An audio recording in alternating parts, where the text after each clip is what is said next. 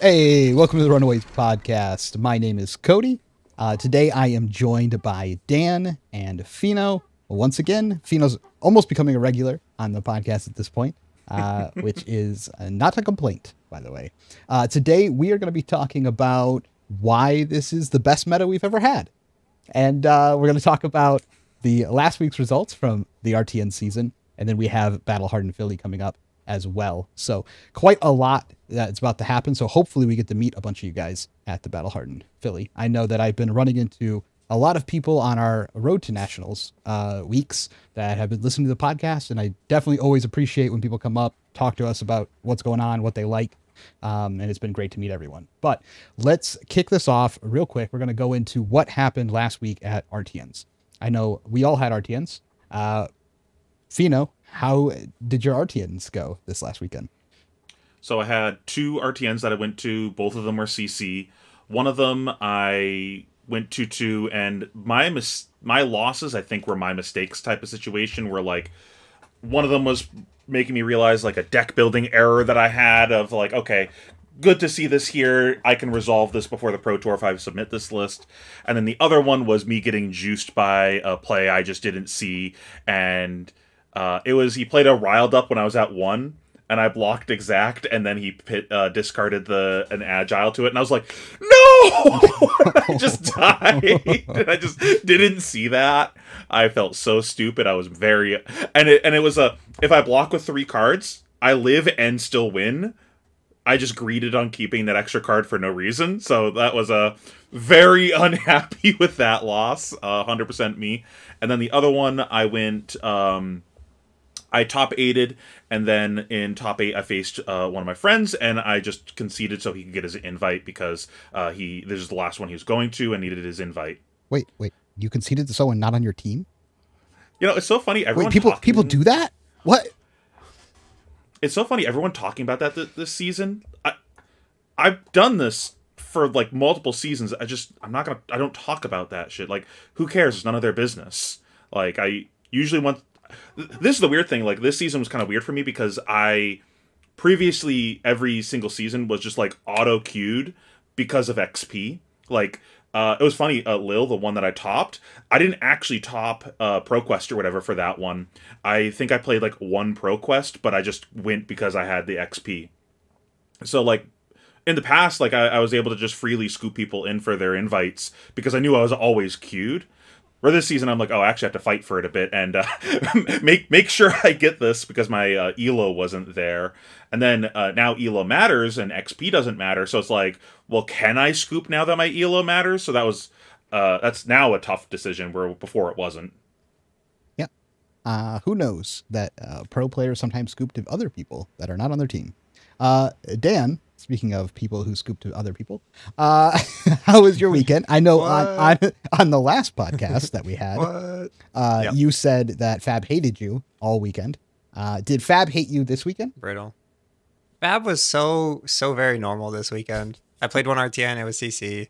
Uh, I went back to Warrior. I did my silly. I blocked two cards. I swing two weapons every turn, and it went great. I went six and zero. I played six different heroes, interesting, different games, low variance it was great. I went undefeated, uh, one seed after Swiss, and then I I conceded to a local friend, and I got a beer and a nice steak next door, and it was a great time. Uh, and then on Sunday, I played Star Wars Unlimited. Oh, but at the RTN, um, my brother and I top eighted for the second week in a row and second time ever, so that was cool. And he got his invite thanks to the person who I got a steak and beer with.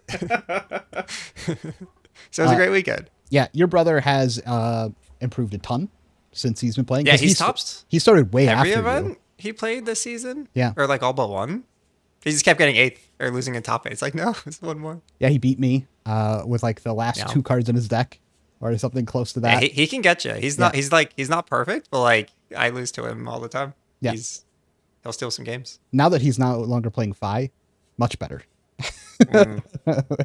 get, that makes sense. Get off that deck and onto something a little bit more powerful. Um, but no, I've been very impressed with his play um, this whole season. So, uh, and he got is his he, invite, is which is awesome. Is he still on uh, Levia? That was the last I saw him on. Yep. Yep.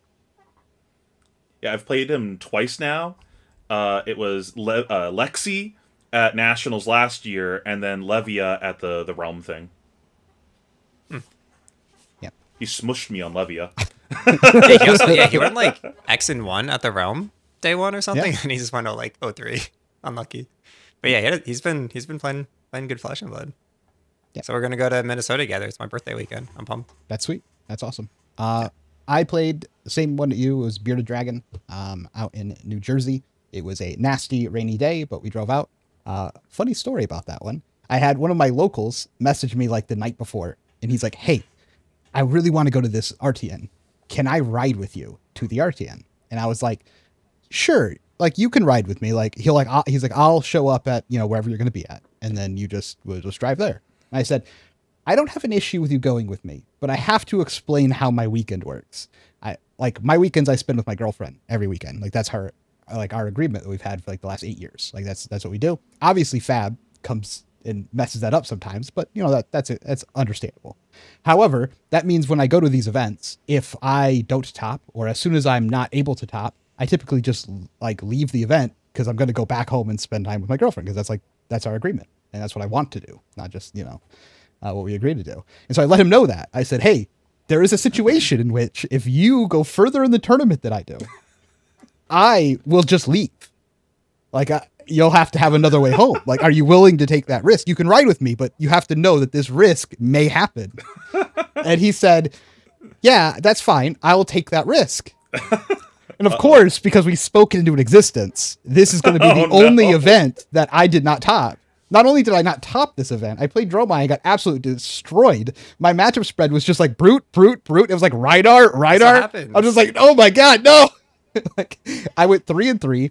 Uh, my last round, I lost to you know lost to your brother. Uh, got he you know he he got his winning in. Um, and then the whole day, because I started off, I like lost game one, and I could see the look on his face, like, oh no. And then, and then I win, and he's like, "Oh, okay, you're fine," because he, he went like he like went, went undefeated in Swiss, right? Uh, the local that we brought, and he, and then I like lose my my winning, and I'm like, I'm out. And he's like, no, no, no. There's you could you could you could definitely still top. And I was like, no, there's no way mathematically I can top, but I will play the last round just for you. And so I played the last round and then just got smushed by a Rhinar as well. And I was like, okay, I'm three and three. And I looked at him like, I'm out. And he's like, I knew the risk. And, and I just like just left. I'm like, of course this happened because we spoke it into existence, right? Yeah. Um, I don't know overall, if we got the update, but it worked out because my brother lives pretty close to where he lives. Yeah. So he gave him a ride. Yeah, Well, he was top. He was top eight lucky. though, right? Yeah, he was top worst eight. Case, wor- worst case, he could have just taken his top eight and left, right? Like, yeah. Well, he did. We went and got a steak and a beer. is what I was saying. He didn't play his top eight game. oh, okay. So I thought it was pretty funny. Um, of course, that's that's how it happened, but I got absolutely crushed there. Uh, then I went and played at Games and Stuff uh, the next day in Maryland. Games and Stuff got a new store. It's like gorgeous. It's like the one of the best stores on the East Coast, in my opinion. The place is massive. The branding is on point. Everything is clean. There's multiple bathrooms, not one bathroom, multiple bathrooms, multiple drinking fountains. This thing is set up like it's a convention hall. So I was super impressed by by the store and their new location. Uh, it ended up being like a 59 person tournament, which is a huge RTN. They were also like the only one on Sunday that was like anywhere close to anybody. Um, played that event. Uh, I decided to, to do the same thing Dan did. I had played Dromai all season. I want to play a fun deck. I played Dorinthia, uh, which was pretty fun. And then I went undefeated, won the tournament. So I got like got my win. I was like super happy about that. Um, everyone was super nice. Uh, it was really fun to play. Um, I would, I can't wait to go back to that store because that store was gorgeous. Um, but all day I just did the thing. I swing my weapons and win games. Like the boots, swing the weapon, get, mean, get, get good matchups. Don't get bad matchups. It, it- warrior good if you get good matchups, right? Like, Just a happy little warrior game. yeah, so it, simple, it was so so easy on the brain. It's so relaxing.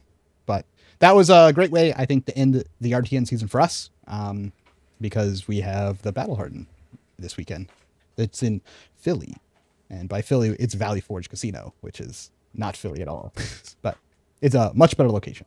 So, what happened in other places than with us is Dromai won the week. It just crushed everyone, and this was I, I, I saw this at my RTNs. There was a ton of Dromai. I don't know. Was that how it was for you, Pheano? I mean, it's always a ton of I Dromai mean- for you. Yeah, yeah. My my area is like mostly Dromai. Like the tops are always mostly Dromai. The room is mostly Dromai. Like no matter like it's weird if Dromai doesn't take up most of the top just because there's just so many in the room to begin with where it's odd if that doesn't happen. Yeah. Uh, like our our meta is so weird because of that because because of how many it pushes decks out of the meta so it creates this weird inbred meta where everything is polarized around Dromai. It's it's very weird. Yeah, I mean, Dromai won 14 RTNs this weekend. Um, and when we went to Bearded Dragon, I was surprised by the number of Dromai. I played Dromai three times at at um, games and stuff, so it's out in force, uh, which is pretty expected, I think, with how the meta has started to shape out. Right. Um, next is Kayo. Kayo is continuing to win as Kayo should, because Kayo is the best deck in the game. I mean, do we disagree with this yet? Yeah, did you say Kano? Kayo. Did I hear that correctly? No, Kano no. is the Kano, best deck in the Kano game? is the second best deck in the game. Okay. Yeah. Okay. Uh, Tariq, uh, I believe, I had a tweet earlier today where he's asking people their opinion on uh, Kayo, and uh, I, I posted a thought on there, and uh, Kayo kind of reminds me of post Stubby's ban Fai, where it's like, I, I think everyone kind of agrees, yeah, this is probably the best aggro deck in the game right now. It's something you go, you go to the tournament, you got to respect the fact that Fai exists. It's not so crazy good that it maybe polarizes the meta around it like Lexi did, but it's yeah, it, this is the one of the best things that you can be doing in the game right now, and it's a very straightforward linear aggro deck that's very good. It's asking a tough question on a lot of people. Yep. And it just sometimes goes crazy. Like it Yep. just sometimes has nut turns, and it has it can buy itself out of situations with scab skins. If we could just ban that card already, Dan's suggestion from the couple weeks ago is the best suggestion. It's just like it just gets them out of situations that after they've played themselves into a corner, and then they're just like, hmm, "Oh, six! Look, I'm out of this. Oh, I can play the game again." You're just like, "But, but you did this to you. You you put yourself here." Yep. Yeah, Um, one of the Kayo games I played this weekend uh, against one of my uh one of the guys from my local group, the Shrewdness. He l- opens the freaking game going, eh, roll just turn one, eh, roll scab skins, cast bones, cast bones. I'm like, brother, what? what? This, this is you violated the law. Classic brute players. Classic. Roll scabs. I roll scabs there every time. Yeah, of course. But still, the fact that you can is kind of like meh. Yeah. me. No, I don't think that should exist. Uh, Azalea you, came in eight, which makes sense if we are seeing more Kayo rise up, because that matchup is most of the time good for Azalea. Um, and I did notice mm, more Azalea was talked about, I think, this last week. There seemed to be a little bit Yeah. more excitement around that hero um, as the meta starts to shift into a, you know, maybe a top five. Not like a top three, but maybe a top five or six decks, right? That's kind of what I've been seeing. I think it's just low adoption. Yeah. I mean, I think Azalea. everyone knows the deck is like busted. Like it's a problem. Like, but not that many people play it. So It's a problem, Dan. Is it ruining Yeah. Fab? Huh. we had a whole episode. had a about whole it. episode about this. um, yeah. Uh, However, Azalea can never be like too big of a meta because it counters itself, which is pretty funny. Um, Katsu ninjas decided they were going to show up this week and got seven wins. I, uh, cool. That, that that makes sense with the Dromais. Yeah, makes sense because Just in general, it's a hard deck to play against. If, if they draw well, like ah, dude, new it's get mask. steamrolled if you mess up. The fact that they could just search their deck for two cards on one of their turns, they just like one of their turns, they just get to pick. Typically, they get to search the deck for three cards. Like they hit and they're like, Katsu ability, break mask, and then later they're they're going to go, you know, search their deck again. And it's just like, ooh, I, I think that deck's fun to play though because you get to make those decisions. Like it's so it's so much thinking to be like, ooh, I can get three cards from my deck. What what possible combination can I have to get the max amount of juice here? Um, So I've liked Katsu. And then we have Kano again with six wins, which is still too many wins for Kano. Uh, they're like tied for first in wins for the RTN season, which is not a world you want to live in. Um, but apparently it's not really a problem. So no one no one cares. It's fine. We're totally not going to see a bunch of Kanos show up to Pro Tour. Uh, there's no way. Just just play Oasis. It's Yeah. just play Oasis. Just stop playing greedy, uh, pitch colored your decks. R- run a deck that's half blue, draw all the reds. Greedy deck. Greedy deck. Oops. Uh, and then Kassai won six again, the exact same amount that Kassai has won like every week. Uh, has been pretty Makes sense. consistent. Victor dropped down to six. I think that's probably because of a Rise of Dromai. I think I think it's probably because of our tier list. true. They learned. People probably chose to not play. To be fair, they should play it at an RTN. They just shouldn't play it We at did, Pro we did say that. Like this is just for what to play at Pro Tour, not for. That was my favorite thing. It's like, but this deck's good, and it's like, yeah, but not for Pro Tour. It's like this is a whole different environment. This is a very specific niche tournament. Like this, this one tournament. Um, Yep. but I, I think Victor dropped a lot because of Dromai. Um, I think if the Dromai is anyway a competent, that Victor just loses that matchup like pretty much all the time. Like they just really can't win. They don't have the dominate pressure that Bravo does to like push through if they want to play that strategy, and they don't have the fatigue for it to work properly Or the disruption. or the disruption. That's yeah, that's been the big one uh, that I felt in the matchup where I'm just like, it's just numbers. Like Yep. it, it's, I, I have so much agency over how I want to math the hands out. Where it's like you, you you there's so little you can do to make me give a shit about what's going on on board. It, it's just it's just numbers. Yep. I mean, I'm still not great at drama yet, but like that is the best matchup for learning how to play into fatigue. Because you can make so many mistakes and still just get there. Like it's like and you're like, oh, I kind of see how it all comes together. Like it's like a great trading bot for how to play against fatigue, but it like can't do anything to you, which is pretty funny. Uh then we have Dorinthia with four. One of them was mine. We got there. Let's go. Um, that's a I think a a little down from week one. I don't know where she was at week two, and then Boltyn dropped uh, to half at four, and then other heroes got 13 wins. Uh, overall, for most players, I think, and for us, the RTN season is over. Um, I, I, think have one more.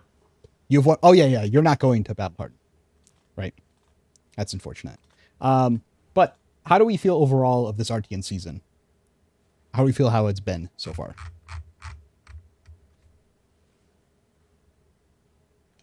Better, Like the meta, Worse? or I had I had just fun. just just in general. Is it the same as the last RTN season you Uh, played in? Attendance has been incredible. Absolutely. Like best since we started playing the game, right? And you would come to Yeah. like yeah, like we hadn't had like forty person events since like 2022. I feel like And they were sold out. Like the events that we went to Yeah. that weren't like that big, they were just sold out. They just didn't have room. yeah, no, that was that was really awesome. All the ones that I went to were between 20 and hard capped 32 people. Mhm. I didn't have any stores that I went to that were capped above 32. Ah. Um, experience at them was fine. It, uh, I think to me, it was more, I was kind of disappointed in myself for my performance this season. Uh, while I finally got my first win at one, I only top eighted twice, I think. Maybe it was three times, I can't remember. and I, I'm very disappointed in myself for that because, like, this is every every single other season of ProQuest or RTN since the first one, the, the Tunic one, I've only missed one top eight every season. And this season it's been the other way around where I've only top eighted twice. So I'm like, man, what happened this season to me? Not been a good year for me so far. Well, we got a couple of weeks to tighten that up for Pro Tour, and then you won't care. Just top Pro Tour, and then it alleviates all there's- there's- problems. There's a silver lining though. There's a store in New Hampshire, uh, awesome CCG. Uh, if you if any if anyone watching this is a Pokemon person, the uh, the awesome gaming couple, they're, they're like a, a big person in that community from a, a while back. Um, every single season, when I go to their store to play some, like their last event before the major, if I do good at that event, I do terrible at the major. I went 2 2 drop at that event. Every time I do terrible, I've top aided. So, Predestined. yeah, hopefully this trend continues. This is this has been the case I think 3 times now, so let's let's hope this trend continues. I'll take the L on a $50 goddamn promo to top 8 the Pro Tour. There you go. Dan, how's your RTN season been overall? I think it's the best meta we've ever had. Like CC does actually feel really good. Like th- there are a lot of like terrible matchups you can run into, but like there's like 30 playable heroes now, and like a lot of the matchups are like somewhat skill intensive. Like it could go either way. Um, even with the Kayos, like if they don't high roll, like you can get there. Um, so yeah, no, I don't know. I think CC is actually feeling really good. I played three different decks this season. Uh, Joe might felt a little worse than the others because of what I into, but like they all felt fun to play and like fine. Uh, I think draft is like a little too high variance for me if you're not specifically a warrior. Um, I, I think it's like by far the highest variance set we've ever had. Like it's just everywhere. Like every action is variance. Um, and I think it works. And I think it's like really fun and a great draft set. Just so many feel bads. Like every game a wild red misses and someone feels terrible about it. I do I- think this is one of my favorite draft sets that we've had so far. This Agreed. is felt more interesting to me in both the draft portion and in the games. Just like the decisions I'm making feel more important than they have in a lot of the previous sets. I, I feel like I have a lot more meaningful agency over these things than just like I'm four picks in, I'm Prism, I'm on rails for the rest of the draft. Okay, play my games. Every Prism game plays the same. Like I, I feel like there's way more going on and it, it feels good. Uh, there can be more improvement, obviously, but I think this has been like the biggest step forward in draft that they've made in a long time. I, I'm I'm very very pleased. I'm looking forward to seeing more. Yeah, this is my favorite RTN season since Tunic season, which was like the first one, right? Mhm. Yeah. Um, But was that just because the tunics? uh, chain and Tunic, you can't, you can't. Yeah. It's chain and Tunic, like Yeah. And like sold out events again. and sold out. Yeah, they're huge events. Like no one wants to win an 11 person RTN. Like, No. well, whatever. Um, but You top if you win the first round. Like, what? But overall, uh, I met a lot of great people. I think this is the best RTN meta we've ever had. S- quick I- story time. Quick story time. The the eleven person thing. I had a um a skirmish like that once where it was exactly nine people, and I was like, oh, so it's win round one and then you top. So I won round one and then just scooped the next two rounds because my deck sucked. and I just didn't feel like playing. I was like, oh, crazy, I'm top eight. Then we find out that um, so the guy felt bad, so he gave ninth place. Uh, it was one of the phase. I, I'm forgetting which one. Um, phase uh, uh the blockout party um for for for viewers. Um, he gave him like a cold foil Briar promo or something. I forget what it was. Like some army promos. He like oh it was cold foil Rosetta and a rainbow foil Briar. He like gave him army promos because he felt bad. And they told the rest of us so we didn't get the skirmish kit in yet, so we don't have anything to give you guys for top eight. Uh, we'll mail it to you. They never mailed it to us. They never ran a fab event again. they they just Oh, so ninth place was the play. He he's the only person that got anything. Sorry. That's great. Um, I was saying that like, I think this legitimately, like, no, no joke. I think this is the best RTN meta we've ever had. Um, this meta is super fun to go to an RTN at because you can bring whatever you want, and you have a shot at topping. You have a shot at getting your invite. It's not how it's ever been, and I think that's great. I think that's great for an RTN meta. Um, so I have, I thought it was great. I I feel like I can bring whatever I want, and I, my ch- I have a I have a chance to actually win. And that is not how it's ever been before. And I think that's great. clearly at- the people agree level. as well. Yeah, people are showing up. People are bringing whatever they. I'm playing different decks every round for the most part. Um, and so like I think all of that is great. Uh, I met a lot of It's- ton it's- ton of people. It it's not play Lexi, play deck that beats Lexi, Yeah. or you're an idiot for not playing these things. Yeah, like like the we've last we've Pro Tour so one. many s- was dumb. They, they needed to get rid of Lexi. That was so depressing. But we've had like a bunch of seasons like that where it's like play the deck, play the deck that beats the deck, play Prism because it beats those decks, or you're just an idiot for bringing anything else like Bra- Starvo season, Briar. But that was fine because you won Tunics if you made the right choice. yes, So no complaints. I, I will say I do miss for for the last one, like to give an example, like the last Pro Quest season when Lexi was available, I didn't play Lexi the whole season, and there was the final Pro Quest, and I hadn't qualified yet, and I said, "Fine, I'll just play Lexi and qualify," and I just won the whole thing with Lexi. Like that, that was I tried to avoid it. I tried to play other decks, like do other things, and then it was just like, "Fine, I'll just do it," and then it was just like, win, like. And it was nice that that's not how it is this season. Like you can literally just be like, "No, I'm going to qualify on Katsu," and then like your chances of qualifying are like good. Like they're they're not like it's not a bad pick to bring to your RTN, right? Like uh, I like that. I think that's great. Yep. Agreed. Agreed. Um, everyone I've met has been has been awesome. Um, I've had a, a ton of great games. A lot of people who have been around for a while. Some new players as well. Um, all my games have been good. I, I just like have no complaints over this season. I think it was super fun. I think uh, I had a very very good season personally as well. Um, I think this is my first time really just going like straight undefeated in Swiss on different decks. Like it's just not something that I normally do, and in draft. So, um, a couple barriers for me personally and my own personal growth that I was able to break this season. Cool. I'm not really hear hearing people complain that much about stuff either. It's like some people are like, mm, Cast Bones is a little, mm, but like it's it's no codex. It's just like mm, that's kind of an annoying card to play into sometimes. And then it's just Kano Yeah. being Kano, and and that's about it. And then like that's not everyone e- even has to deal with that issue because you might not have Kano players in your area, so like maybe you don't have to deal with that. It's- everything's very like yeah, everything's kind of fine. Nothing's like egregious. Agreed. Yeah. Except Kano. Flesh and Blood is fun right now. Agree. Great. Uh, before we get into the main topic, I think we're going to switch and do some of our Discord questions, and then we also have an announcement for uh, Pro Tour uh, as well. Uh, but if you would like to be able to ask questions in our Discord uh, or on the podcast, you join our premium Discord. Uh, the Discord is created for people who want to take the game a little bit more seriously and are looking for like-minded people who have the same values or are also looking to take the game seriously. Um, we also have a bunch of different promotions and different tier levels uh, for joining as well. In this uh, Pro Tour, I'm going to let Dan go in. We are doing a giveaway. And Dan, if you want to talk about the giveaway we're going to be doing at the Pro Tour. I would love to.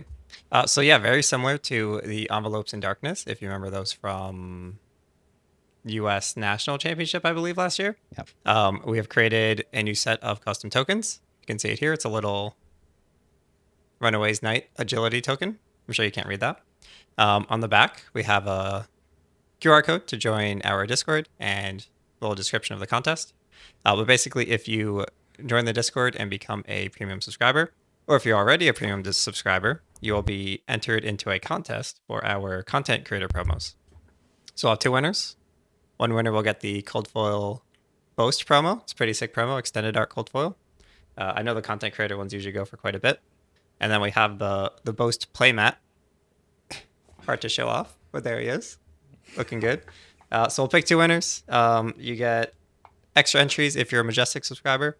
Uh, if you're a Rare subscriber, you will get one entry. Um, but yeah, come find any of the Runaways at uh, Pro Tour Los Angeles, and hopefully they'll have some tokens on them to, to pass out. And if you play against them, you should get one as well. Uh, it was super uh, fun to do last time. Uh, so looking forward to do it again. And the Quicken token's pretty cool. Uh, not Quicken, Mhm. uh, Agility this time is uh, pretty cool. Yep. Okay, so I into ju- our I just thought of- what We we should do another one at some point. That's a cell sword. That would also be a good one for the the Runaways guy. that would Yeah, that would be next. a good one. I like that. And we'll all of us love Kassai, so we'll we'll we'll personally potentially use it. Look, I, I complain about Kassai a lot, but I love Kassai. Like I really actually Yep. thoroughly enjoy playing the deck. I just wish I could play the deck. That's actually been a, a funny thing that I've been like this Cannon's past week. Flesh and Blood. This past week, I've been like writing a ton of articles for Dromai, and in doing that, uh, there's also the like people talking about like, oh, she might LL soon, and I've been thinking about this this whole week. Like, what do I do? Wh- Where do I go now that Dromai might LL? And I think I'm just going to end up to the Kassai because like Prism isn't that style of play that I gravitate towards. Even though I love Prism as a character, it's it's not the grindy deck that I I like to play. Kassai might end up be where I, I end up gravitating towards after this.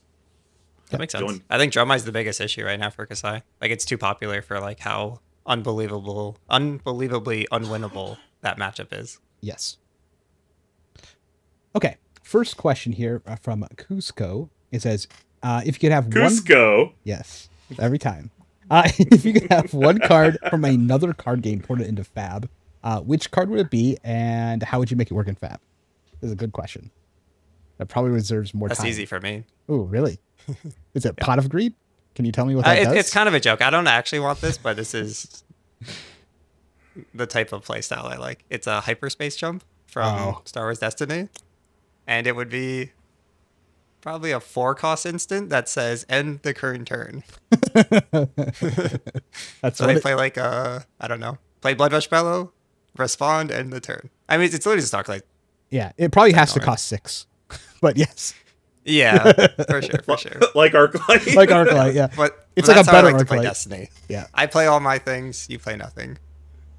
I mean, speaking of cards that already exist that I want to see in the game that exist for Prism, um, my favorite style of card to play in uh, other resource-based games like Magic and things like that is uh, Howling Mine effects, where it's a symmetrical effect that you, because you know it's in your deck, you get to deck build around it, and it becomes an asymmetrical effect. Technically, you already have that with Library, but it just doesn't quite play out that way in this game, and like it being a one of and just the kind of the, the play patterns with it is not quite the same. Like, um, I think we've talked about this game on the pod before, Duelist.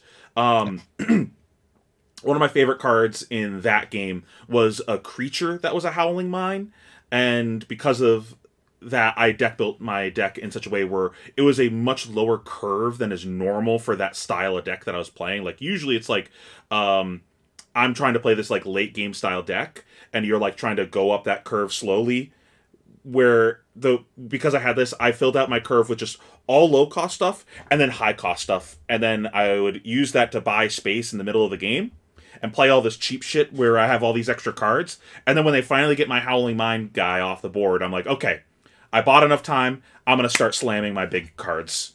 Um, I don't know. I, I like effects like that. It's interesting. Yeah. Things that change the way the game is played, I find are really interesting.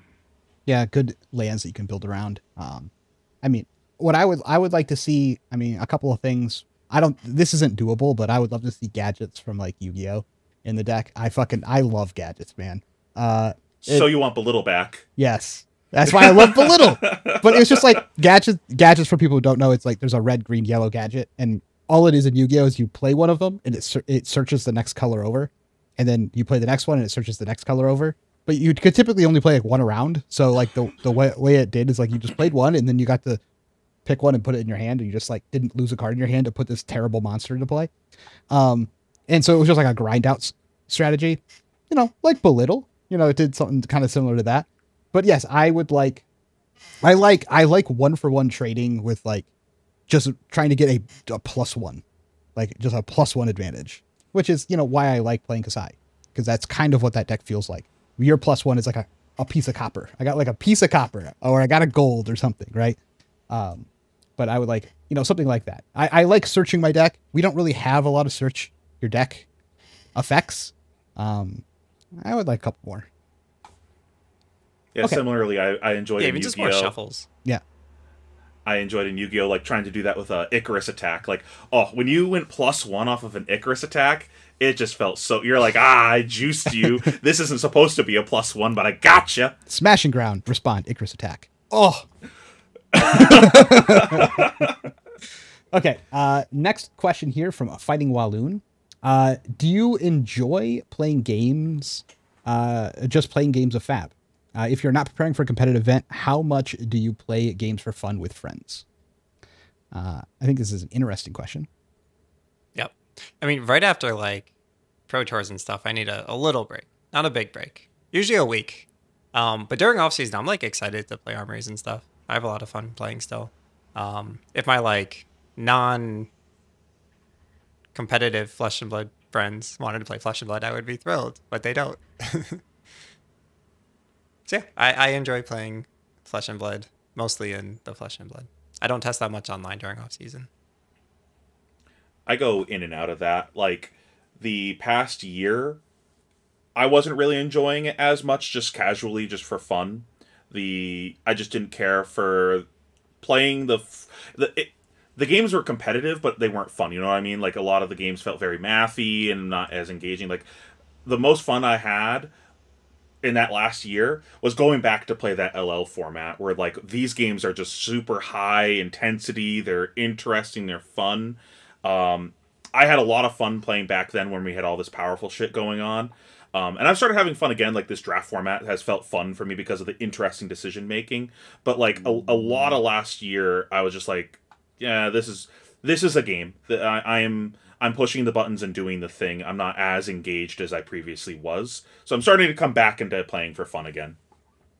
Yeah, I mean, I will probably play a game here or there. I'm a kind of, I've said it a million times. I'm pretty dege- degenerate. I might take like a week off after a major. I, I've I've come back from like worlds and stuff, and then like the next day I'm just playing Talishar games for no reason. Like I've 100% done that. I always still go to locals um, after majors as well, but I typically bring like Vynnset or something fun that I'm just like the stuff I wasn't allowed to play during testing. Like that's what that's what I do after a major. I'm just like, okay, let me bring this thing I, I couldn't play at all because you know there's no shot that it's like playable at the major. Let me just start playing those decks again, having the fun aspect. But as far as like most, I don't. Most of us don't like go into person other than like a local to play Flesh of Blood outside of competitive events. Um, it's just like Talishar Online. Okay. Uh, the Judester asks, "What are your team rules guidelines around conceding to other team members uh, qualifying for events? I.e., are you only conceding a top eight, last round of Swiss? Not at all. There are no rules. No rules. No, straight up. There's like no rules. It's individual discretion only. My biggest thing is like try and emphasize that like it is entirely your decision for that kind of thing. Like th- no one on the team should ever feel pressure to concede to anyone else on the team. If you want to play Flesh and Blood, we are here to be the best Flesh and Blood Flesh and Blood players we can be, and you should battle it out. With that said, we are all also people who play card games and know how probabilities and, and things work.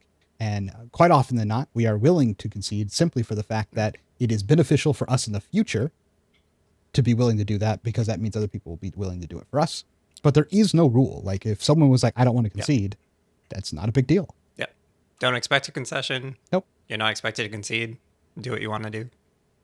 But we're also all friends. Yes. So Yeah. like there's also that like Yeah. I oh I want to make sure that my buddy gets in so you're just going to a lot of us probably would want to like let our buddy get in if it's if I'm the I'm going to be the gatekeeper I'm going to feel bad about that like I'm going to help my buddy get in.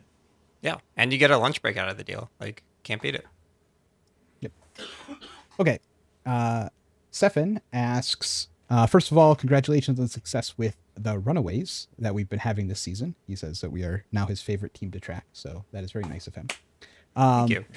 do you think fatigue decks got the results that you expected? As a player who rarely had trouble versus fatigue decks, I see a lot of people, even at high levels, struggle.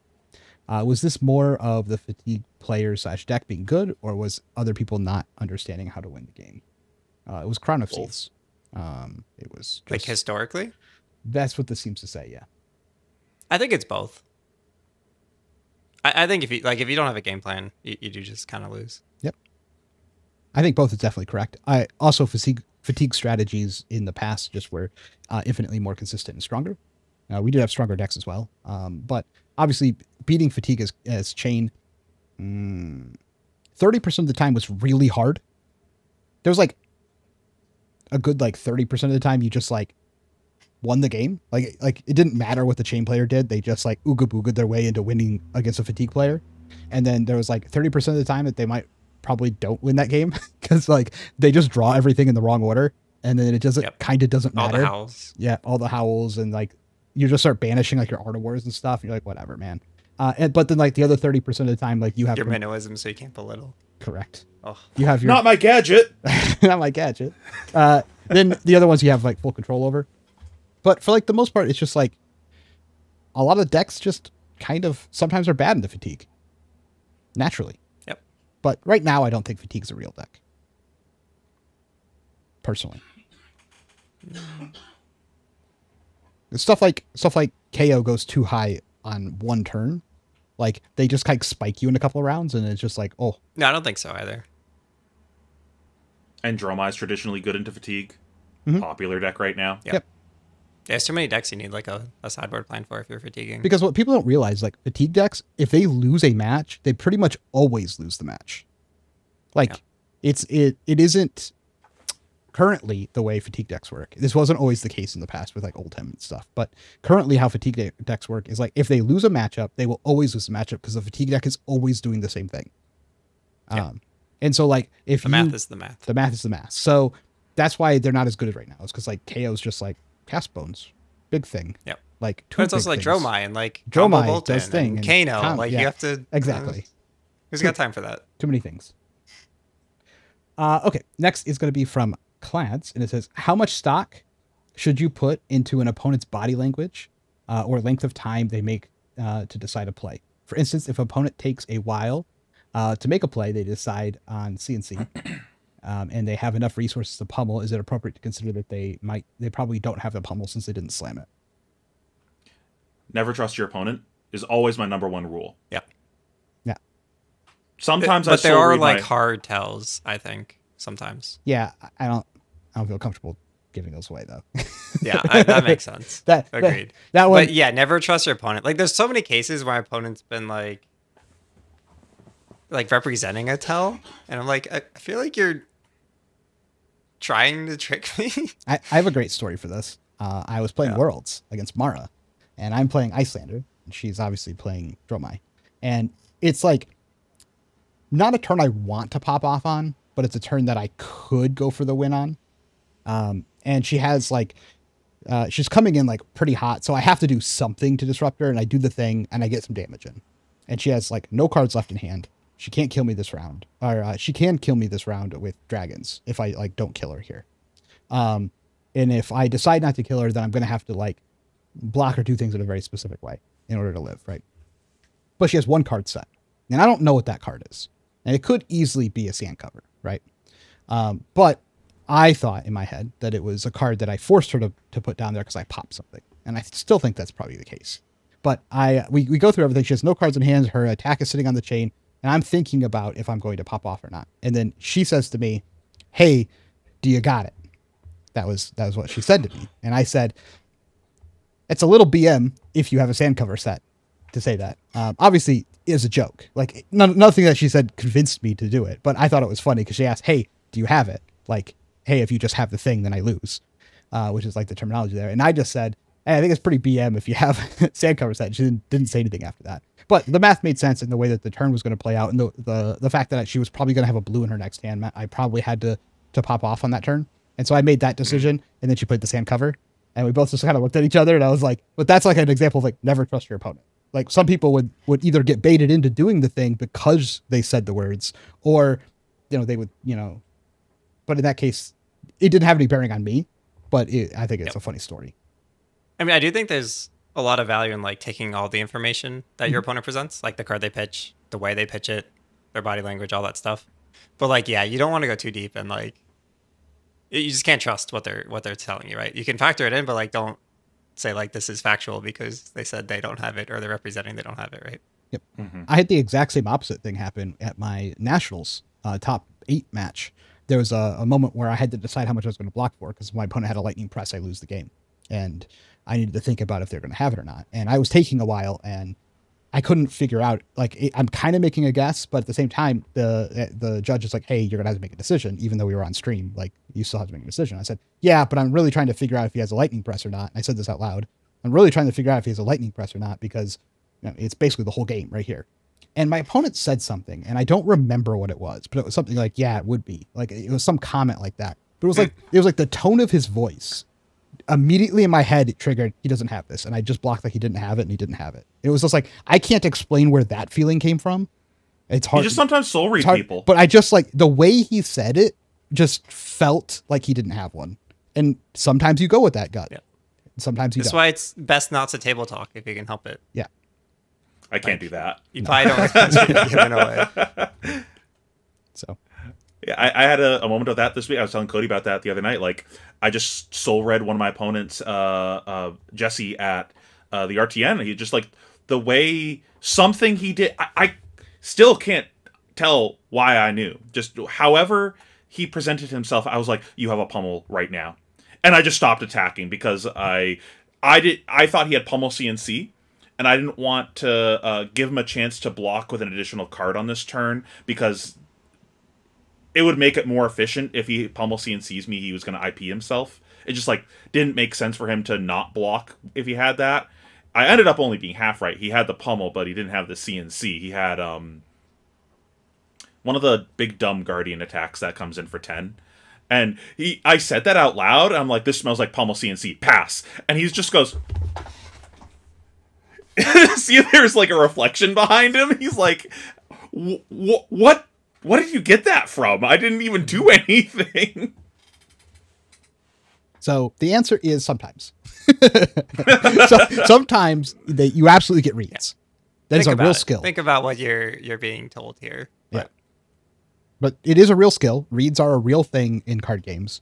Um, body language is a real thing, and then there's the metagame of some people are able to pretend that they are bad when they're good. It's a whole poker mechanic, right? And so, like, what kind of player are you playing against? You don't know, but there is a whole metagame about that. It isn't used as much at a professional level. Like sometimes you have to use try and use something like that to try and get like some type of edge in a situation. But for the most part, most of the plays for are like heads up, like you know what you're supposed to do in that situation. So Yep. you're not really going off a towel. It's always I- good to be aware of. I always I go back love- to Iyslander. Like, just think about every time they say, "Does this resolve?" Think about it for like six seconds, and Two then say, "Yeah, you're good." Yes. Not Yeah, six. six is too much. Six, Six is is too way too many seconds. six is a lot of seconds. I I I love it though when you see those at the high level. Like, um, did you guys see the um? Sorry, my. Sorry, um, the uh pen trick that LSV did at the Pro Tour with Yeah. um, like that was one of my favorite all time card gaming moments of him just like mind gaming his opponent into making that play. I was just like, oh, chef's kiss. Wait, what did he do? You gotta tell the story now. He Go watch the YouTube video. It's much better than any story we could tell. Okay, okay, I'll watch it. Just look at It- LSV pen trick, and then like you'll see the video, and it's I'll like, link you later. yeah. Cool. I, we uh, I'll I'll send it to Ethan so he can put it in the description. There's a chance that might not even be legal in most card games, which is pretty funny. I mean, the thing was he didn't do anything. Like he was like, kind of like this, and then the thing that like really sold The token? his his yeah his no his opponent grabbed the I know. token from him. Yeah. He like was trying to line up blocks like he was going to use one of his lands that makes a guy to block with the guy, and he's like sorting his lands like he would use the the land to make the thing. And then his opponent also does the math on blocks, grabs the token from LSV, lines up the block before it would happen, and he's like, okay, surely he's gonna attack this way or block this way. And he baits him into doing that because he has a one of uh, Wrath of God in his list that he can play that, that kills all attackers. So he needs him to swing out to use this. Otherwise, it doesn't it doesn't do anything here, and he loses the game. It's just like It is it is worth watching, for sure. Uh, okay. Uh, last question here is from Ham, and it says, "What is a Kayo cube, and how do I build one?" Dan. Yeah. Uh, Kayo Cube is a two player cube that I built where both players play as Kayo, the original. Um, I think he has a name, title, whatever. You're both Kayo, you roll dice a lot. Um, but basically, what I did, and I think works pretty well, is you start the game with Scabs, you start the game with Knucklehead, you start the game with Bark Bone Strapping, and uh, skill crushers. That's like the most fun part of it. Um, Berserker Runt. Berserker Runt, Thank you. um, so like both players start the draft, the game, whatever with that, um, and then you basically take one copy of every card that exists in Flesh and Blood, that is generic or brute, um, that has a base attack of six or more, and then you take what like three copies of every card that rolls a die, and you put it in a pile, and you shuffle the pile, and you play Flesh and Blood. And you share the deck, and you roll a bunch of dice, and it's a lot of fun. um, I, I have a link on the, the the cube, the Fab Cube site. I forgot the name of it. Um, it's on my Twitter too. You can check it at Disc Golf Dan. I posted the my updated list. I haven't tested it too much. If anyone actually plays it, let me know. I added like clash cards and um, some wagering because I think that that fits the vibe pretty well. Nice. Okay, let's get into the main topic here. Uh, it shouldn't be that long one, uh, but this is the I best forgot meta. we had a main topic. yeah, this is the best the best meta we have ever had. I feel like we said something different like an Ah. episode or two ago. I forgot. Uh, I forgot the disclaimer for RTNs. Uh, this is the best meta we've ever had for RTNs, and I think Yeah, no, I agree. It's, yes, absolutely. it's like maybe It's- not close. I don't It's think so funny. I think, I think the the one of the worst metas was the Lexi meta at an RTN level, but then I think that was one of the best metas at a more professional level. Like that was, I think, one of my favorite metas to play in at a tournament level. Yep, makes sense. I think the meta is not bad for Pro Tour. It's just like It's fine. the the, the only complaint about Pro Tour is just that you're gem lucking with almost any deck that you pick. But at an RTN, that doesn't really matter. Like you're going to get a couple bad matchups. Most of it's going to be play skill anyway. You can bring whatever you want. Going to RTNs this season has been awesome. I think this meta is great for that. It's great for players who are going to locals, going to RTNs. Most of the players in the game. Uh, I I think this is one of the best spots it's ever been in, and it's like a great time to jump in and play the game. Yep. Could not agree more. And people are. People are, yeah. I mean, I don't. I'm hoping that some of this is more natural than you know. I know we had a couple stores in the area that just like didn't get didn't get stuff this time that they normally would have. They didn't get RTNs that they normally would have. So I'm hoping that didn't compress too many things. Um, I guess we'll see kind of what happens at the Battle Hardened as well. I'd be curious to see what those numbers are going to be. Yeah. Yeah, the store that I normally run, uh, like how I, I help one of the stores run events. And they didn't get an RTN, and we've been running stuff Mm-hmm. since Tales of Aria. They just didn't get one this season. Yeah, Yeah, I think they like to rotate. Yeah, my my local store, which is you know alternate universes, usually has one. They didn't get one this time. Um, and then one of my favorite stores, uh, in, in the area, like the Banish Zone, did not get one. They are a huge Fab supporter. They play have one Ks. They have a huge turnout for their armories. Uh, they do they run like daily, like pickup tournaments where just like four people or six people show up to the shop and they like every day run a you know run like a, a free a free play uh, which might hurt their numbers or something, but unknown. But they didn't get a, get one, and I was very shocked by that. We did get a ProQuest though. Uh, great stories Hmm. in uh, Uxbridge, or is it Winsville? Yeah, I think this is also a remember which good one. meta for Battle Harden, right? Like, I I don't really have an issue going Yeah. to a battle. I okay, so I value Battle Hardens very low on tiers of like events. These are like lower than RTNs for me in a lot of cases because like the RTN invite is more important. PTI is like super valuable, but it's just not It's only one and two. Well, it's also not the focus. Like- yeah, it's harder to Yeah. get. Yeah, it's just one and two. Like you have to go one or two to like get anything worthwhile at the at the at the battle harden. but it's kind of weird. No, like I feel like I go harder for ProQuest because I need that Pro Tour invite, yeah, and you have to win that. And like Battleharden, it's like similar. I don't know. I just have like for some reason my brain is just like there. It's just not the level, the amount of people there, and how well you have to do versus the pricing. The pricing is just bad. Yeah. like it's just bad at a battle harden, but it's fun. I, I like going. I'm gonna go this weekend and have a good time. I feel like this meta is great for battle hardens because we like to sprinkle them everywhere. You can bring whatever you want. Your chances of topping are there. Um, I can bring whatever deck I want to bring this weekend, and I think I have a chance to top with, and that's pretty cool. Yep. So, uh, any other thoughts on this being probably the best local level, RTN level, battle hardened level meta we've ever had? Uh, I think it's looking good for ProQuest. My understanding is that that is entirely classic constructed. Okay. Oh, really? I did not know that. Someone said that, and I did like a half confirm. I didn't full confirm. It makes sense because like we're not getting a new draft set. True. Okay. Um, but we're also not getting a new CC set, right? So the meta's staying around, I think. so the meta's just Unless so, someone might LL at a Pro Tour, right? Like Fai, Dromai, I think are in range. Getting close. Oh man, if Dromai went, Pheano, can you win? So we can, Wait, we could win. So I then we can, like, accept. decide. I accept. Yeah. I accept. I'll I'll win the pro tour. I'll do it for everyone.